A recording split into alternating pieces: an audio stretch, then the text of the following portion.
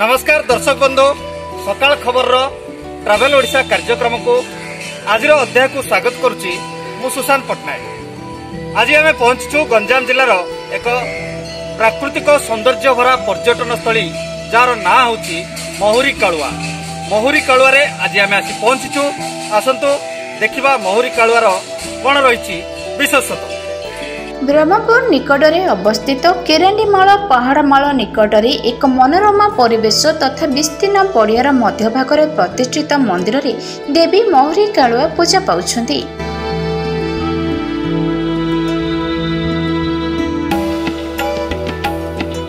ମନ୍ଦିରଟି ଆହୁରି ରାଜାଙ୍କ ଦ୍ୱାରା ପ୍ରତିଷ୍ଠିତ ହୋଇଥିବା ବେଳେ ଦେବୀ ରାଜବଂଶର ଅଧିଷ୍ଠୀ ଦେବୀ ରୂପେ ପରିଚିତ। ପ୍ରଥମେ ଦେବୀ ପାହାଡ଼ ଉପର ଭାଗରେ ଏକ ନିକାଞ୍ଚନ ସ୍ଥାନରେ ପ୍ରତିଷ୍ଠା ହୋଇଥିବା ବେଳେ ପରବର୍ତ୍ତୀ ସମୟରେ ଦେବୀଙ୍କ ଆଦେଶ ଅନୁଯାୟୀ ପାହାଡ଼ର ପାଦଦେଶରେ ମନ୍ଦିର ନିର୍ମାଣ ହୋଇଛି। ବ୍ରିଟିଶ ଶାସନ ପୂର୍ବରୁ ଏକ ଛୋଟ ମନ୍ଦିରରେ ଦେବୀଙ୍କ ମୂର୍ତ୍ତିକୁ ସ୍ଥାପନ କରାଯାଇ ରାଜବଂଶ ପକ୍ଷରୁ ପୂଜା ଅର୍ଚ୍ଚନା କରାଯାଇ ଆସୁଥିଲା। ମହୁରୀ ରାଜା କୌଣସି ସମସ୍ୟାର ସମ୍ମୁଖୀନ ହେଲେ ପାହାଡ଼ର ଶିଖର ଦେଶରେ ଥିବା ଦେବୀଙ୍କ ଶରଣାପନ୍ନ ହେଉଥିଲେ ଓ ବିନା କୌଣସି ପ୍ରତିବନ୍ଧକରେ ସମସ୍ୟାର ସମାଧାନ ହୋଇଯାଉଥିଲା।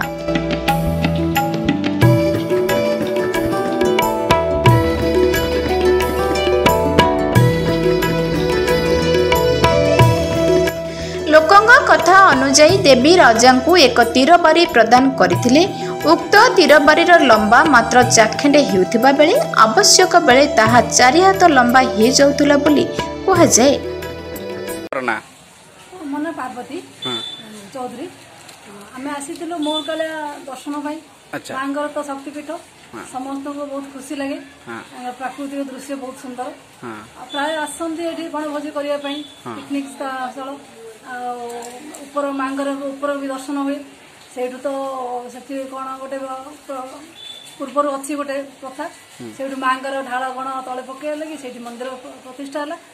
ଆଉ ସେଇଠୁ ସବୁ ଆମେ ଆସି ଦର୍ଶନ କରୁ ବହୁତ ଖୁସି ଲାଗେ ମାଙ୍କର ଭଲ ଇଏ ଲାଗେ। ଆପଣମାନେ ମଧ୍ୟ ଆସନ୍ତୁ ଦେଖନ୍ତୁ ପ୍ରାକୃତିକ ଦୃଶ୍ୟ। ପ୍ରାକୃତିକ ସୌନ୍ଦର୍ଯ୍ୟରେ ଭରପୁର ମହୁରୀ ରାଜାଙ୍କ ଆରାଧ୍ୟ ମା ମହୁରୀ କାଳୁଆଙ୍କ ପୀଠ ପର୍ଯ୍ୟଟକଙ୍କୁ ଆକୃଷ୍ଟ କରିଥାଏ। ଏହି ପୀଠରେ ମାଙ୍କୁ ଦର୍ଶନ କରି ଆଶିଷ ଲାଭ ଏବଂ ମାନସିକ ପୂଜା ପାଇଁ ପ୍ରତିଦିନ ଶ୍ରଦ୍ଧାଳୁଙ୍କ ଭିଡ଼ ଜମିଥାଏ।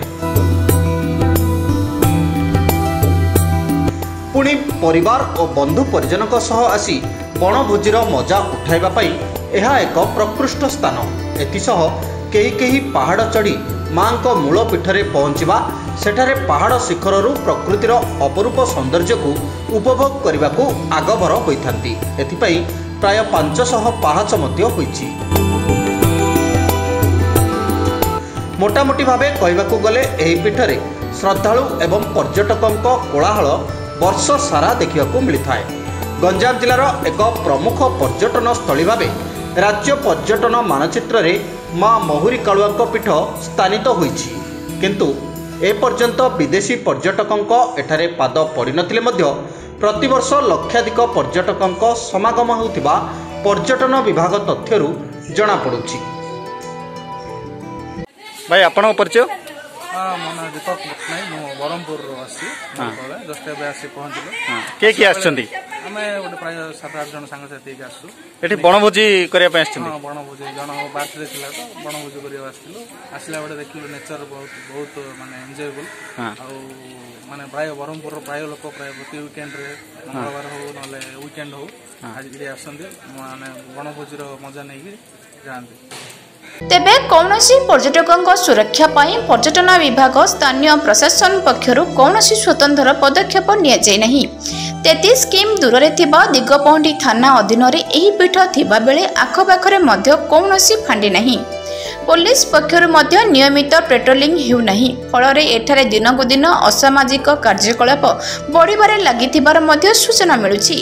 ଯାହାକୁ ନେଇ ପର୍ଯ୍ୟଟକମାନେ ନିଜକୁ ଅସୁରକ୍ଷିତ ମଣୁଛନ୍ତି।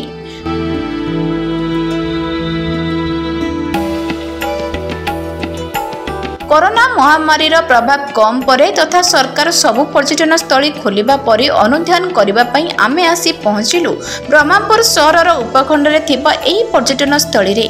ମାଙ୍କ ମନ୍ଦିର ଖୋଲିବା ସହ କିଛି କିଛି ଭକ୍ତଙ୍କର ସମାଗମ ଦେଖିବାକୁ ମିଳିଥିଲା। ସୁସଜ୍ଜିତ ଭାବେ ଭକ୍ତଙ୍କୁ ଦର୍ଶନ ଦେଉଥିଲେ ମା ମହୁରୀ କାଳୁଆ। ମନ୍ଦିରରେ ଭକ୍ତମାନଙ୍କୁ ଦର୍ଶନ ପୂର୍ବକ ପୂଜା ଅର୍ଚ୍ଚନା କରୁଥିବା ବେଳେ ମନ୍ଦିର ବାହାରେ ଲାଗିଥିଲା ବଣଭୋଜିର ଆସର ଆଜ୍ଞା ଆପଣଙ୍କ ନାଁ? ମୋ ନାଁ ଗୋପାଳ କୃଷ୍ଣ ପାଢ଼ୀ। ଆପଣ ମହୁରୀ କାଳୁଆ ବିଷୟରେ କ'ଣ କହିବେ? ଆଜି ଆସିଛନ୍ତି। ମହୁରୀ କାଳୁଆ ହେଉଛି ବହୁତ ବହୁତ ପୁରାଣ ବହୁତ ପୁରୁଣା ଜାଗା। ଆଉ ଏବଂ ଏହା ମହୁରୀ ରଜାଙ୍କର ଗୋଟେ ତାଙ୍କର ଘର ଇଷ୍ଟ ଆଚ୍ଛା। ଘର ଇଷ୍ଟ ଆଉ ଏଇ ପର୍ବତ ଉପରେ ମା ଅଛନ୍ତି। କିନ୍ତୁ ସେଇଠୁ ଆଣିକିରି ଏଇଠି ସ୍ଥାପନା କରିଛନ୍ତି। ଏଇଠି ସ୍ଥାପନା କରିକିରି ଏଇଠି ଗୋଟେ ପ୍ର- ସମସ୍ତଙ୍କର ଏଇଟା ଗୋଟେ ପିକନିକ୍ ସ୍ଥଳୀ। ଏଇଠି ଅଧିକାଂଶ ଶୀତ ଦିନରେ ମଧ୍ୟ ବହୁତ ଗହଳି ହୁଏ। ଆଉ ଏଇଠି ଦେବ- ଉମ୍, ଗୋଟେ ଏତେ ଇଏଟା ଲାଗେ ଯେ କହିଲେ କହିଲେ ବହୁତ ଖୁସି ଲାଗେ ଏଇଠିକି ଆସିଲେ। ଏବେ ବର୍ତ୍ତମାନ ନୂଆରେ ଗୋଟେ ପାର୍କ ମଧ୍ୟ ଏଇଠି ହେଉଛି। ଆଉ ବହୁତ ଲୋକ ମଧ୍ୟ ଏଇଠି ଡୋନେଟ୍ କିଛି କରିଛନ୍ତି। ତେଣୁ ଏଇଟା ବହୁତ ଗୋଟେ ପିକନିକ୍ ସ୍ଥଳୀ ବୋଲି ମୁଁ ଅନୁଭବ କରୁଛି।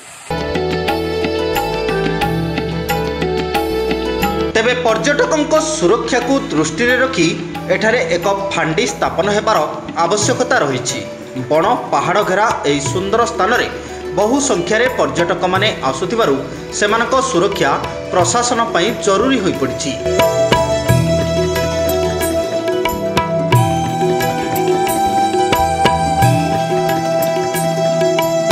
ଏଥିସହିତ ଏହି ସ୍ଥାନକୁ ରାଜ୍ୟ ପର୍ଯ୍ୟଟନ ବିଭାଗ ଅଧିକ ଗୁରୁତ୍ୱ ଦେଲେ ଏହି ପର୍ଯ୍ୟଟନସ୍ଥଳୀ ଦେଶ ବିଦେଶରେ ପ୍ରଚାର ପ୍ରସାର ହୋଇପାରିବ ବୋଲି ବୁଦ୍ଧିଜୀବୀ ମତବ୍ୟକ୍ତ କରନ୍ତି।